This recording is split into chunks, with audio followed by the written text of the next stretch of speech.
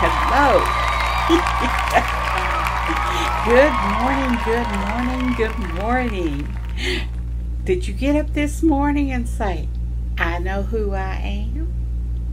Did you say, I know what day it is? Did you look in the mirror and try to cheer that person up in the mirror? You did?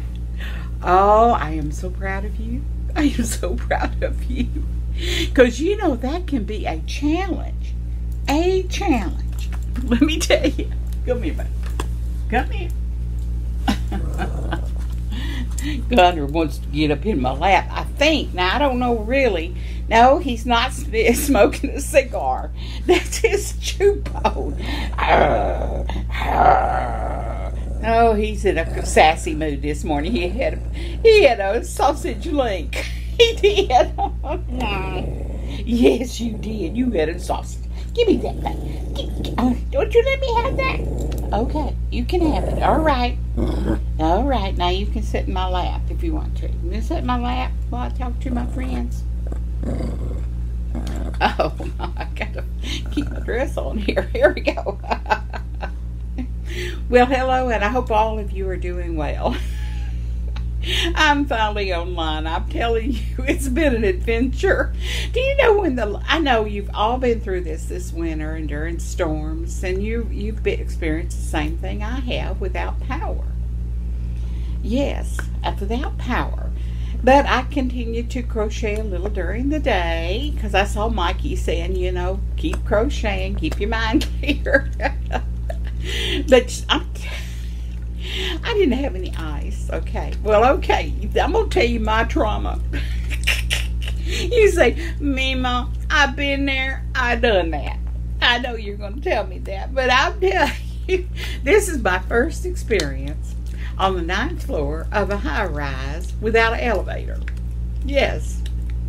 And it's been four days. Okay, we got our electric on yesterday. Yes.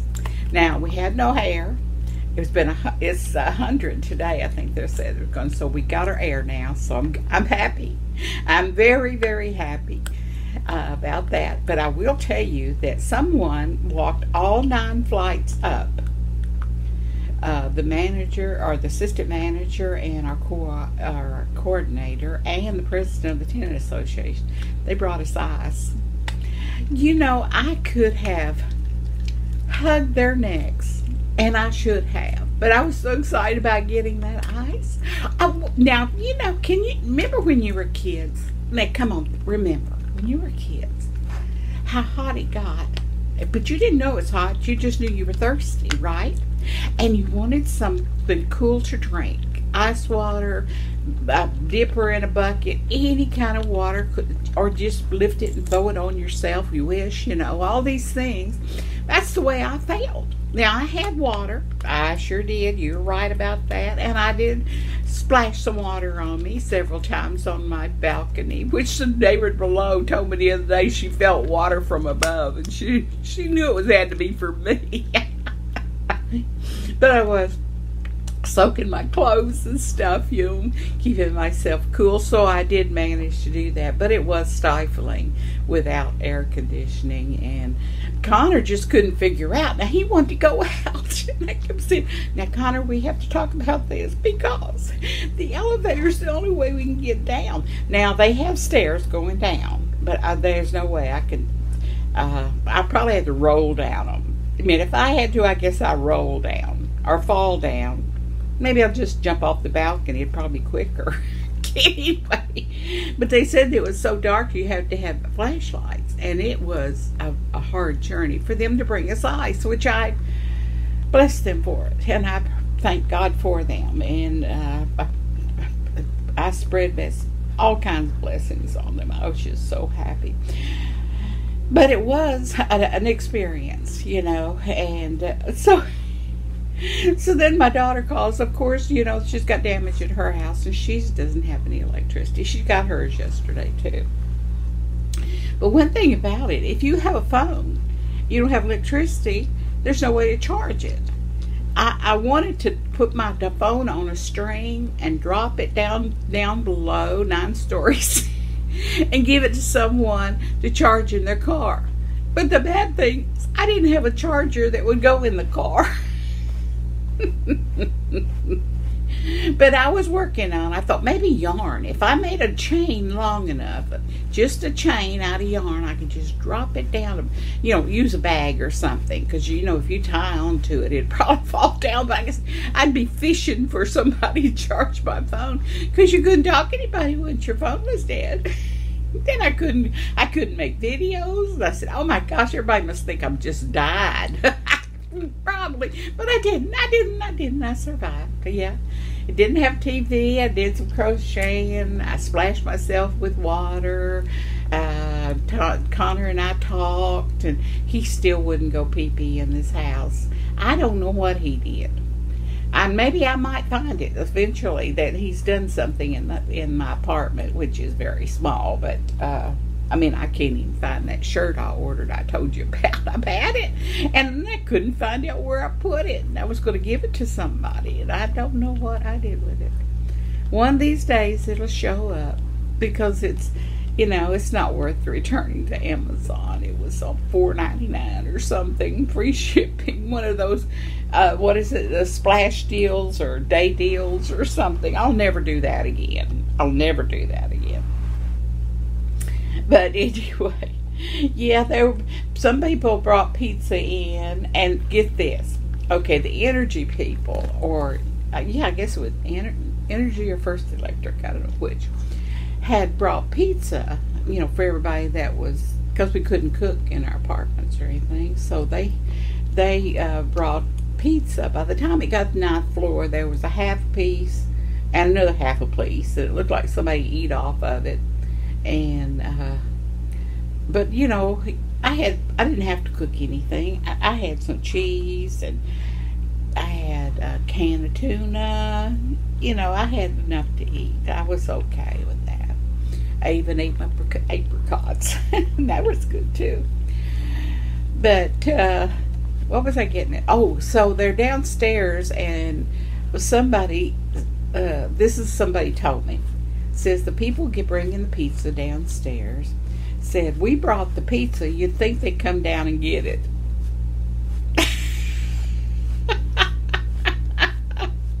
now I don't know who this person was and if they really said that, but that really shows a lot of stupidity, don't you think?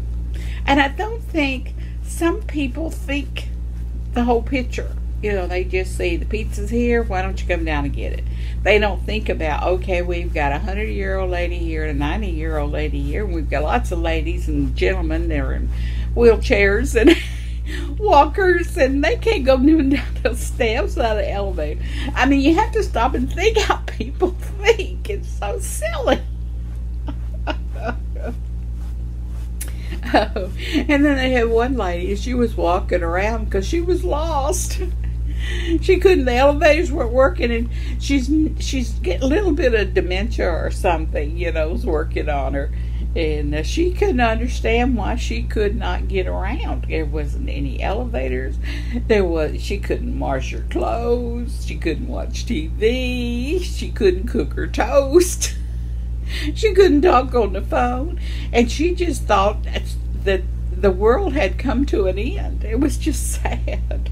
I'm laughing because I have to laugh because it's so sad. So sad.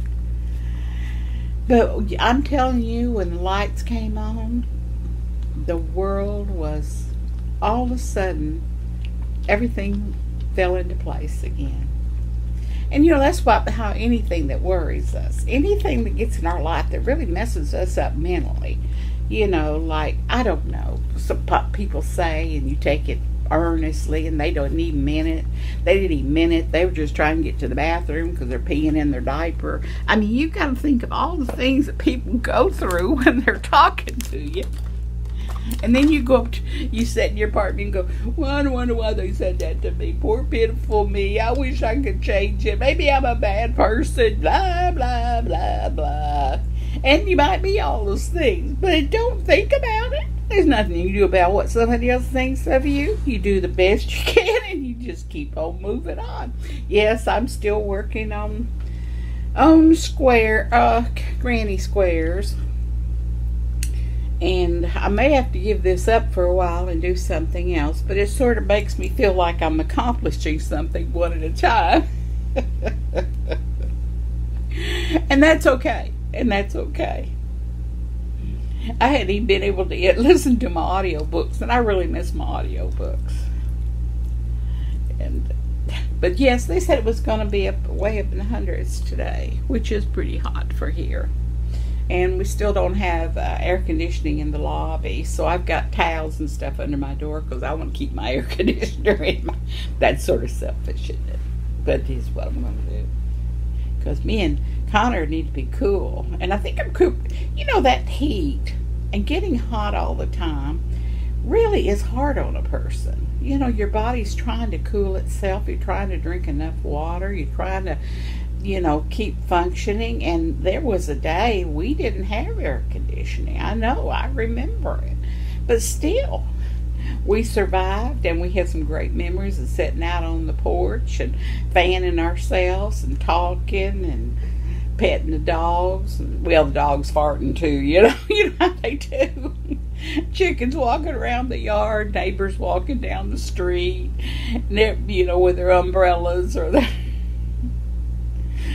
Oh yeah, people sitting drinking a beer out there front underneath a big tree. In fact, this morning I went for a walk, took Connor around to the playground here, our yard, and somebody had moved a chair under a great big old tree, and I was thinking that is so. If it was a straight back chair, I'd just leave it back there and sit there all day because underneath the tree is always cool, you know. And it was hot, but it was cooler under the tree. Bless the trees. And I noticed that one of our tree was struck with lightning. It was a smaller tree. I don't know what kind of tree that was. It looked like a, a lilac or something, but I'm not sure. So Connor went out and we checked the garden, and and the uh, cucumbers had moved all the way they've been climbing and climbing, and they're about onto the trellis. And blooms, I I had never seen the amount of blooms on that cucumber. I sure hope, I'm sure counting on those cucumbers. One of the girls says, I want some cucumbers. She brought me the seeds, you know. And she said, I want to milk a cucumber because that's the way I like to eat them. And I said, Well, good for you. We're going to have some. but I did uh, go out into the garden and uh, retrieve just um, one strawberry. It was about the uh, twice as big as your thumb. Washed it when I came in and ate it with my breakfast this morning. Yeah, it's gonna toward the end of the month. I'm gonna have to buy some groceries because we lost a lot of things and you know that I had in the refrigerator because it got so warm in there. Yeah, if they'd been a little quicker on getting the electric on it, would have been a lot better. But there you go. That's just the way it is. You have to deal with it. Just like, you know, if it's cold weather, I could have just set them in a container outside on the porch or something. But I didn't because it was too hot. But anyway, I've got stories to tell, so there you go. oh, yes, I remember. You know, I tell you the story about my brother. My little brother was about, oh, I guess he was three and a half, and he had a pair, he had those striped coveralls that uh, railroad people used to wear. My dad, my mama had got him. And he had a little baseball hat. And he had his little tie up brown shoes that come up over his ankle, you know. And had a little shirt on. He and his, and Daddy had got him one of those. Well, he found a car, one of those cars that kids paddle under. You know, and, you know, paddle, paddle, paddle. It looks like a fire engines or something. I can't remember what the, his looked like. But anyway, he he was out in front of my daddy's shop there along the highway.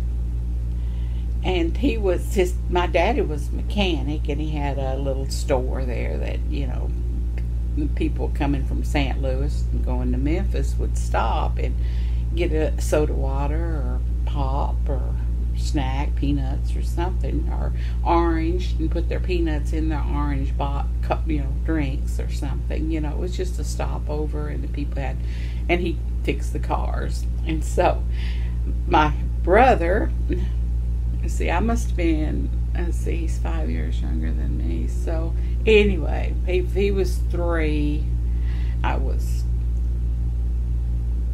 eight, eight or nine. Anyway, so we're sitting out there on underneath the daddy's garage cover, and my brother's sitting in his little car and he, he, he said something like, I've got to fix my car. So he went and he jacked up his little car on blocks or something. I don't know. Just a little kid. I mean, maybe he was four. I don't know. But he stacked that little car up and he got underneath it, you know, on his back. Like he, he had his tools, his little tools. Daddy had got him, you know, little tin wrenches and stuff that, well, Daddy already had. They were real tools. So anyway my brother was underneath that little car and he crossed his legs.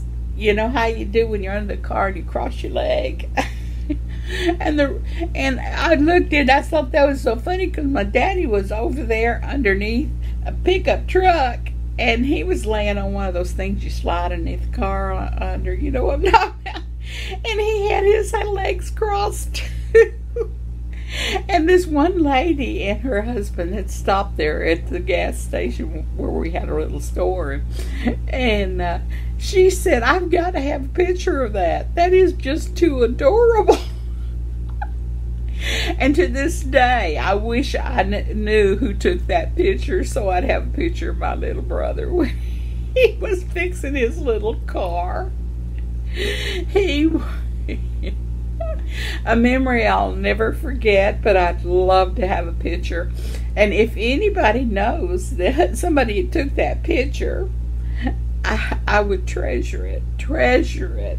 A little boy laying underneath one of those little boy, you know, little trucks that they were paddling, you know.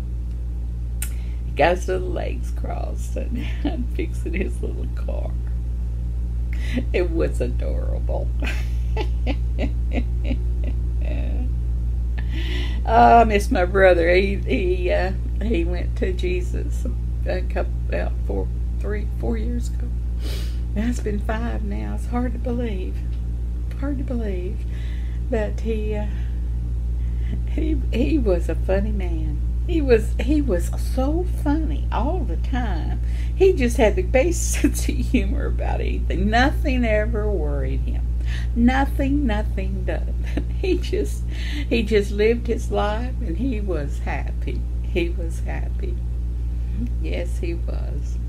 Even when he on his dying bed, I'm telling you this is true. He was telling jokes and laughing at them up until his last breath. And he had everybody in the room. They're crying, but they're laughing at his jokes. He, and think one of the la- it wasn't a joke; it was stories. He says, "I told that man if he turned that screw the wrong way, it's going to pop down." And sure enough, it did. He should have listened to me. It was something like that. I thought, that's my brother. oh, I miss him so much. Miss him so so much. That uh, a little car. Did you ever do anything like that? You had such a pre- pretend world. I had a cousin, her name was Linda Kay, and uh, she loved her little kitchen.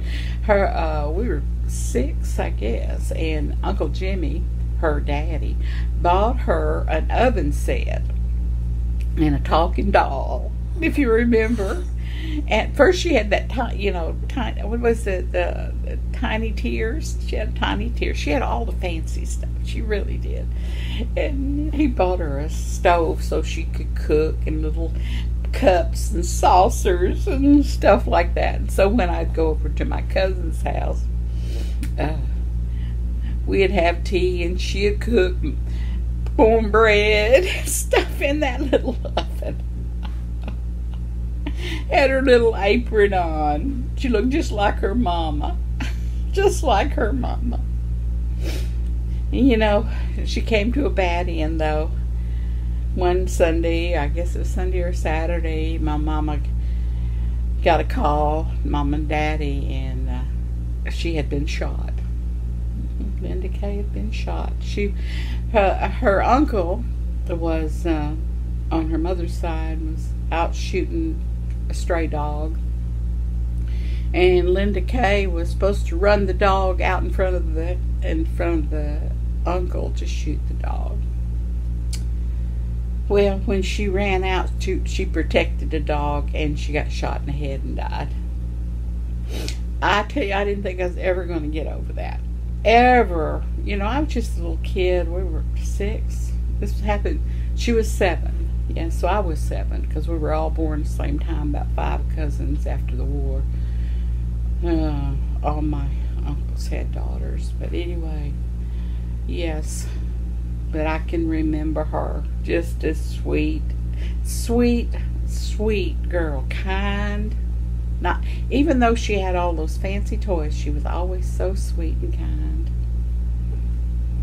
Yes, I guess the Lord just wanted someone that kind to come up to heaven to be with him. And you know what? This is so sad. They put a beautiful headstone under a cedar tree, and that's where she was buried. They built a little silver, well, the cedar tree is big now. Of course it is. It's, what, 60, 70 years old. Almost 70 years old. Somebody had shot her beautiful picture. They had embedded her picture into a frame on the head there with a little angel on top, or, you know, a little lamb angel. And it was so terrible. Somebody, here she was, shot in life, and then they shot her picture and cracked her picture of her Things happen and we just don't understand why. People do things and we don't understand why. And we're not supposed to, I don't think. I think we have to learn to accept what's going on and just keep on going. I'm sorry I'm in such a negative mood. I don't mean to be. I'm in memory lane because I've had a lot of time to think. I really have. I've just been by myself, me and Connor. And, uh, and having air conditioner, and I am just so happy. Yes, I need to pick up my house now because I've sort of just let things go because it was too hot to move around, you know. Because you got hot very fast. But I think that I need, oh, I was going to get to comments. There's so many sweet comments out there today. Um, I don't know if I'm going to should I make them on this one or should I? Let me just make another one, okay? Just remember God has you in the palm of his hand. Pray for Mother Earth, the birds, the bees, the flowers, and the trees, and for each other. Because we're all in this great big world. Yes, we are. And you are special, don't forget. And now my next video in a minute, I will do one on our comments because I want to read what you guys have to say. I've missed y'all. Bye-bye.